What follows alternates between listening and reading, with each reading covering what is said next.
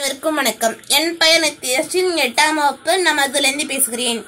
நான் உங்களிடம் பேச வந்துள்ள தலைப்பு தமிழ் வழி கல்வி வளர்ச்சியா வீழ்ச்சியா?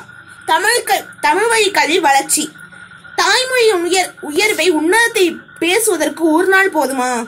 இன்றைய கால சூழ்நிலையில் தாய்மொழியில் கல்வி என்பது பழமைவாதமாக குறுகிய கண்ணோட்டத்துடன் நோக்கப்படுகிறது.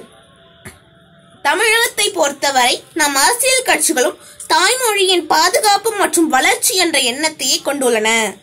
உலகமயமாக்கல் நிலவும் நிலவும் இந்த காலகட்டத்தில் தாய்மொழியில் கல்வி தங்கள் குழந்தைகளுக்கு வளமான எதிர்காலத்தை ஏற்படுத்தி கொடுக்குமா என்ற கேள்வி பெற்றோர்களிடத்தில் எழுகிறது. இதனால் தாய்மொழியில் கல்வி என்பதை வேறொரு கண்ணோட்ட கண்ணோட்டத்தில் பார்ப்பது அவசியமாகிறது. தாய்மொழியில் கல்வி கற்பதன் மூலம் குழந்தைகளை கற்பதை தாங்கள் பேசுவதுடன் அல்லது சமூகத்துடன் ஒப்பிடுவதும் பார்க்க முடியும்.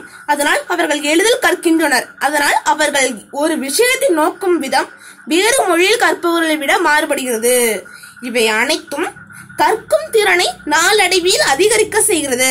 இது கற்கின்ற குழந்தைகளுக்கு மட்டுமல்லாமல் கற்றுத்தரும் ஆசிரியர்களுக்கு தங்கள் சொல்ல வருவதை கற்பவருக்கு சரியாக போதிக்க முடிகிறது. இதனால் மாணவர்களின் தன்னம்பிக்கை கூடுகிறது பேச்சாற்றல் வளர்கிறது மற்றும் ஆக்கத்திறன் கூடுகிறது. இதை உணர்ந்தது உணர்ந்ததுதான் தாய்மொழியில் அறிவியல் கல்வியை கொடுப்பதன் மூலம் ஆக்கப்பூர்வ சிந்தனையை குழந்தைகள் மத்தியில் கொண்டு வர முடியும் என்று முன்னாள் குடியரசுத் தலைவர் அப்துல் கலாம் கூறியுள்ளார். தாய்மொழியில் கல்வி என்பது எல்லா மொழிகளுக்கும் சாத்தியமாகுமா? எழுத்தில்லாத மொழிகள் சிறுபான்மையர் பேசும் மொழிகள் இலக்கணங்கள் சரிவர இல்லாத மொழிகள் மொழி வளர்ச்சி அடையாத மொழிகள் பிற மொழிகளுக்கு சமமான சொல்வதம் இல்லாத மொழிகள் தாய்மொழி கல்வி என்பது மிகப்பெரிய சவாலாகவே உள்ளது. இதை கருத்தில் கொண்டு பல ஆராய்ச்சிகளின் அடிப்படையில் பன்மொழி கல்வி என்ற கோட்பாடு உருவாக்கப்பட்டுள்ளது. பன்மொழி கல்வி என்பது தொடக்க கல்வி தாய்மொழியில் தொடங்கி மெதுவாக தேசிய மற்றும் சர்வதேச மொழி கல்விக்கு மாறுவதாகும். தாய்மொழியில் கல்வி பற்றி ஐநா சபையின் உனஸ்கோ அமைப்பு பல்லாண்டு காலமாக ஆராய்ச்சி செய்து வருகிறது. அந்த ஆராய்ச்சிகளின் அடிப்படையில் சில தகவல்கள் வழிமுறைகளை வெளியிட்டுள்ளது. முதலாவதாக தாய்மொழியில் கல்வி பயிலும் குழந்தைகளை மிகவும் ஆழமாக கல்வி கற்கின்றனர். இது அனைத்து வயதினருக்கும் அளிக்கப்படும் கல்விக்கும் பொருந்தும். உனெஸ்கோ நிலைப்பாடான தாய்மொழியில் கல்வியின் முக்கியத்துவத்தை வலியுறுத்த உனஸ்- உனெஸ்கோ பல கூட்டங்களை நடத்தி அதன் மூலம் பல தீர்மானங்களை அறிவித்துள்ளது. அந்த தீர்மானங்கள் தொகுப்பு கல்வியின் தரத்தை உயர்த்த தாய்மொழியில் கல்வியை ஆதரிப்பது மற்றும் மேம்படுத்துவது. பள்ளியில் அனைத்து நிலைகளிலும் இரு மொழிகள் அல்லது பன்மொழிகளில் கல்வியை கற்றுத்தர ஊக்கப்படுத்துவது.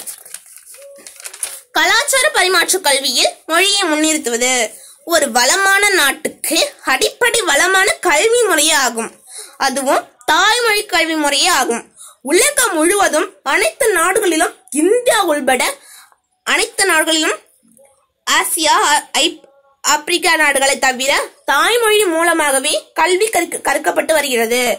மனித ஆற்றலை வளமாக்கவும் ஒருவரது படிப்பாற்றலை அதிகப்படுத்தவும் தாய்மொழி கல்வியால் மட்டுமே முடியும். இது அறிவியல் பூர்வமாக நிரூபணமான உண்மை. சிந்தனை ஆற்றலை வளர்ப்பதும் படிப்புத்தன்மையை உருவாக்குவதும் நாகரிகமான சமூக மனிதராக மாறுவோம். சமூக பண்பாட்டை காப்பாற்றிக் கொண்டே அதை மேம்படுத்தும் சிறந்த கல்வியின் நோக்கம். நம்முடைய கல்வி முறையான குறிப்பாக நாலந்து பாடத்திட்டங்களை கொண்ட ஆங்கில வழி கல்வி முறை மேற்கண்ட திறமைகளை விளப்பதற்கு பயன்படுகிறதா என்று மனசாட்சிப்படி நம்மை நாமே கேட்டுக்கொள்ள வேண்டியது தேவையாக இருக்கிறது. மிகுந்த படிப்பாற்றலோடு பள்ளிக்கு செல்லும் ஒரு குழந்தையை மொழி கலாச்சாரத்தில் இந்திய தன்மையுடன் மூணு வயது வரை நல்ல நிலையில் இருந்த குழந்தைக்கு ஆங்கில கல்வி என்று புரியாத சிந்தனை திற- திறனற்ற மன்னம் செய்யும் கல்வி முறையில் விடுவது என்பது உண்மையான திறமையை அழிப்பது அல்லாமல் வேறு என்ன. தற்சமயம் சமச்சீர் கல்வியை அறிமுகப்படுத்தியிருப்பது பாராட பாராட்டப்பட வேண்டியதாகும். பிப்ரவரி இருபத்தி ஒன்னு அனைத்துலக தாய்மொழி தினம். தாய்மொழி தினம் சிந்திக்கும் திறனின் திறவுகோலாக இருக்கின்றது. எந்த மொழியை கற்றாலும் ஒருவரின் சிந்தனை உருவெடுப்பது தாய்மொழியில்தான். தாய்மொழியை கல்வி கற்பதனால் தொழில்துறை மற்றும் பொருளாதாரம் போன்றவற்றில் வெற்றி பெற முடியுமா என்ற கேள்வி தவறான கருத்தாகும். ஏனெனில் தாய்மொழி கல்வி வாழ்க்கையை செம்மைப்படுத்துகிறது. அம்மா என்ற சொல் தாய்மொழியின் முதற் சொல். அதுவே கல்விக்கு அடிப்படையாக இருக்க வேண்டும். தாய்மொழி கல்வி போதனையில் மிகுந்த கவனம் செலுத்த வேண்டியதுடன் அதன் மேம்பாட்டில் அக்கறை செலுத்து கொள்ள வேண்டும். தாய்மொழி வளர தினமும் உழைப்போம். நன்றி வணக்கம்.